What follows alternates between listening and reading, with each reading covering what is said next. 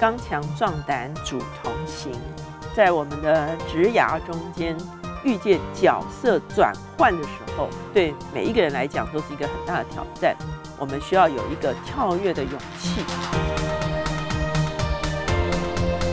重大的转换的时候，其实都是靠着祷告，在那个确据的里面，人才会真正的刚强壮胆。第二个，我们看见执守真理，绝对成为一个支持我们走下去的一个力量。第三个，进到一个新的领域的时候，我们会需要巨细靡遗的重新布局，勇敢的跨出那一步之后，我们才会真正的经历到上帝大能的手拖着我们来做这个跨越。